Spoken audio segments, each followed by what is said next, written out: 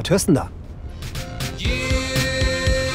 Musik ist in der Serie Die Wespe ein sehr gutes Gerüst, an dem sich die wunderbaren Geschichten entlanghangeln können. Musik ist für Maxi, glaube ich, so eine Art Zufluchtsort, wo sie sich so, ich weiß nicht, reinflüchtet, wenn irgendwie das Leben so draußen zu viel wird. Wir Frotzkes halten es nirgends lange aus, ewig on the road, ewig auf der Suche nach.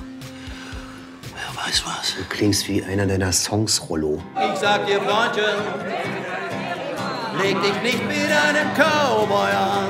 Musik ist für Rollo seine große Befreiung und vielleicht auch manchmal wie eine Flucht, aber eben die Möglichkeit, dass er sich ausdrücken kann und sich nicht um seine Kinder kümmern muss. Hattest du einen Top-Ten-Hit, von dem ich nicht weiß? Zahlt alles die Konzertagentur. Weil du dir so viel Kohle scheffelst mit deinen Auftritten im Irish Pub? Eddie lehnt Country-Musik einfach aus dem einfachen Grund ab, weil er seinen Vater scheiße finden will. Du magst es kaum glauben, Eddie.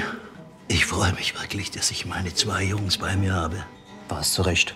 Das mag ich kaum glauben. Es hat auf jeden Fall total viel Spaß gemacht, weil ich meine, es ist schon cool, weil es war ja schon so eine Club-Atmosphäre und so nach einer Weile ist man da schon irgendwie ganz gut reingekommen und das war cool und ich finde auch, Bernd macht das irgendwie total cool und es macht Spaß dazu zu hören und dabei zu sein und genau da mitzutanzen und da mittendrin zu sein. Du trotzt vor deiner Lady, tust größer als du bist, kippst Bier auf meine Stiefel, bist Bernd, der, der, Rollo ja spielt, der kann wahnsinnig toll singen und unglaublich toll Gitarre spielen.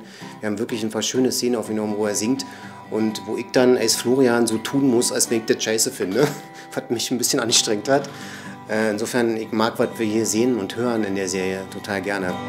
Shoot up!